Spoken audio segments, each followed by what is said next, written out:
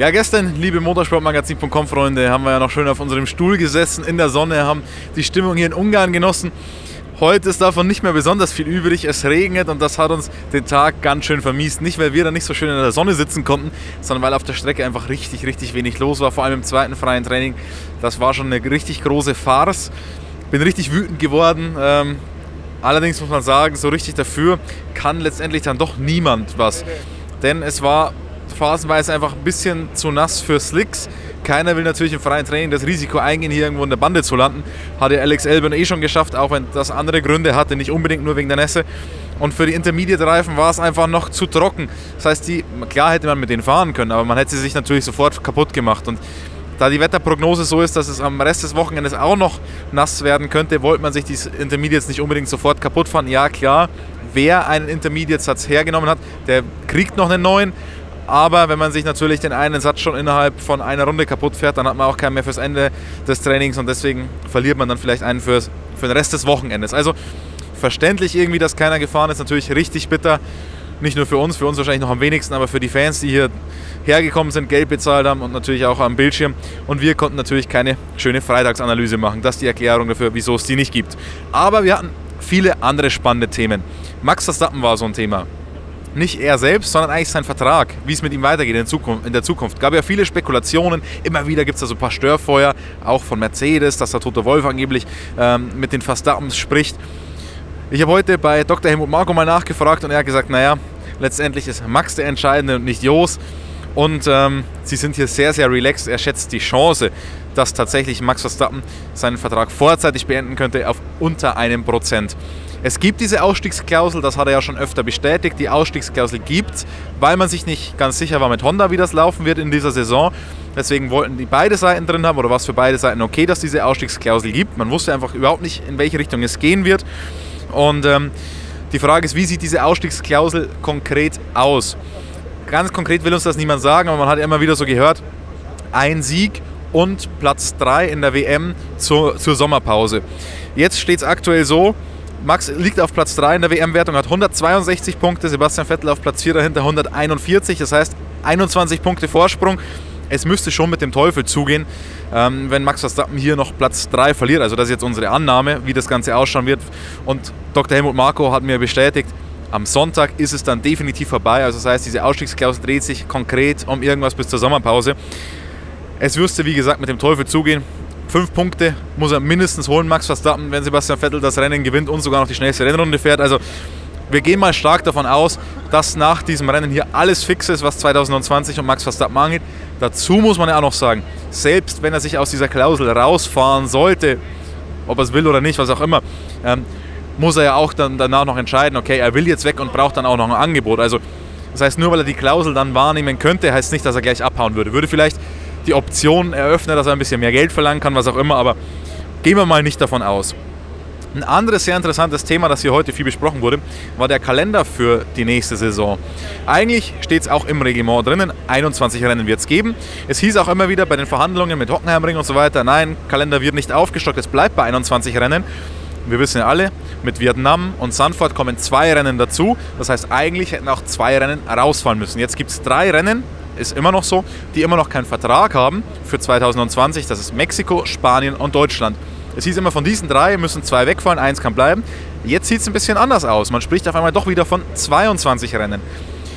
Das äh, erfordert natürlich auf der einen Seite eine Änderung des sportlichen Reglements, in dem maximal 21 Rennen festgelegt sind. Und da wird es schon ein bisschen tricky, muss man tatsächlich sagen. Es geht auf der einen Seite ums Geld. Ein zusätzlicher Grand Prix kostet die Teams zusätzlich Geld müssen ja weiter reisen, das Team dahin bringen und so weiter. Natürlich gibt es das Fee, also das heißt die Antrittsgebühr, die von dem Promoter bezahlt werden muss. Die kommt aber nicht so ganz bei den Teams an, denn wir wissen alle, es geht erstmal in Liberty Media, nur ein gewisser Teil des Geldes wird ausgeschüttet, das zu ungleichen Teilen. Und dann ist die Frage, rentiert sich das für die Teams überhaupt, dann zusätzliches Rennen zu fahren? Wahrscheinlich könnte man da eine Regelung finden, dass ein bisschen mehr Geld als üblich an die Teams ausgeschüttet wird. Trotzdem ist es fraglich. Fraglich auch, weil, die, äh, weil man sich natürlich die Frage stellen muss, braucht man deswegen mehr Motoren? Eigentlich ist das Ganze ja nur auf äh, 21 Rennen ausgelegt mit den Motorkomponenten aktuell. Bräuchte man dann tatsächlich vielleicht mehr Motoren, wenn man dieses Rennen mehr fährt? Dann gibt es einige, die sagen, okay, wenn wir einen zusätzlichen Motor bezahlen müssen, dann rentiert sich diese Rennen auf keinen Fall. Dann gehen die Überlegungen aber schon wieder weiter. Wir könnten ja ein paar Testtage dafür streichen. Bei den Testtagen braucht man auch Motoren. Ähm, viele sagen, die Vorsaison-Testfahrten zweimal vier Tage, zwei Wochen insgesamt, das ist doch ziemlich nervig und braucht man nicht unbedingt. Die machen die Formel 1 nicht besser.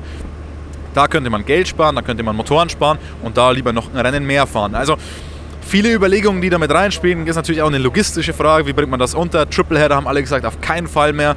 Hat man uns auch versichert, kommt nicht mehr. Und dann ist die Frage, wenn 22 Rennen, welche Rennen? Okay, wir haben schon gesagt, aktuelle Kalender plus zwei neue und dann eben diese drei, die fraglich sind.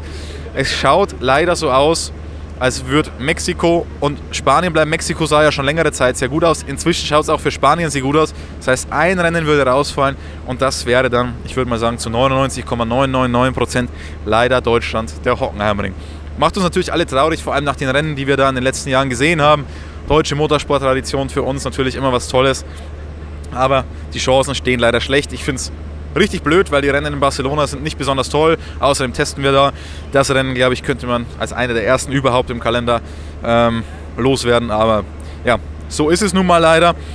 Ein anderes Thema, das uns noch ganz bisschen beschäftigt hat, war viel weiter hinten, da bin ich jetzt zu faul hinzulaufen. Alfa Romeo, die wurden ja in Hockenheim, um da wieder auch darauf zurückzukommen, ähm, bestraft, haben die Punkte verloren. Es geht weiter tatsächlich. Am 24. September gibt es ein Appeal, also gibt es ein, eine Anhörung in Paris. Alfa Romeo hat quasi Berufung eingelegt. Das ist eine sehr strittige Sache, denn eigentlich handelt es sich dabei um eine sportliche Strafe. Und im Reglement steht ganz klipp und klar, dass diese Strafe not subjected to appeal ist. Das heißt, man kann eigentlich keinen Einspruch dagegen einlegen. Ein bisschen was Ähnliches haben wir ja schon mal bei Sebastian Vettel in Montreal gesehen. Da gab es dann das Right of Review. In dem Fall ist es aber ein bisschen anders. Sie sagen zwar offiziell gar nichts dazu, weil sie sagen, es ist ein ongoing process. Aber wir haben da so ein bisschen rausgehört, die einzige Möglichkeit überhaupt, wie man da appealen kann, so eine Entscheidung, ist, wenn man sagt, es ist irgendein grober Fehler ähm, unterlaufen, den Stewards bei der Urteilsbegründung beispielsweise oder in dem ganzen Verfahren. Was könnte das sein? Ich kann mir ehrlich gesagt nur vorstellen, dass es das Strafmaß an sich vielleicht ist, weil wenn ein Auto technisch nicht dem Regelwerk entspricht, ist es meiner Meinung nach eigentlich eine Disqualifikation.